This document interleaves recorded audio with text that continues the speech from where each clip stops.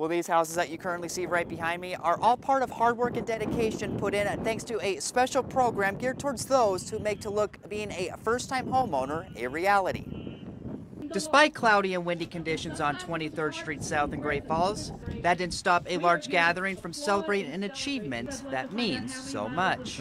It feels great. You know, it's a once in a lifetime opportunity, and um, I'm, I'm very, very excited. Referred to as Dream Street, a part of NeighborWorks Great Falls' owner build programs, 10 soon to be first time homeowners build their house from the ground up.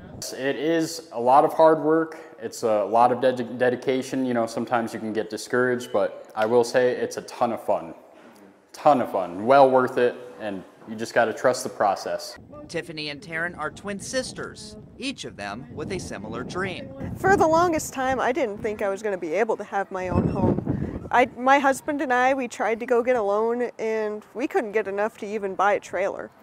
And then I heard about NeighborWorks and its program and found out I actually can do it. And not only can I build a home, but I can complete the childhood dream I had of building a home with my sister, Taryn. Because she's, she's my twin and we're obviously, we're pretty close.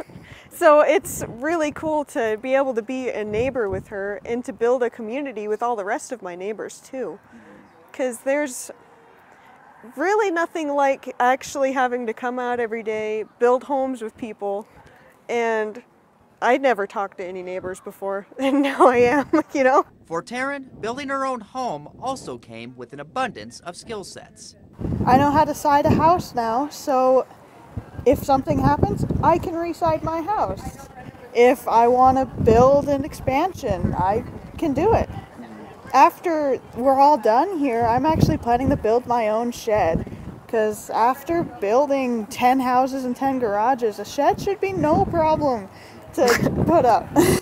And over the course of time, the Owner Built Homes programs has helped 165 families into home ownership. The 10 homeowners are expected to have their houses completed by the winter season. In Great Falls, Cade Mentor, MTN News.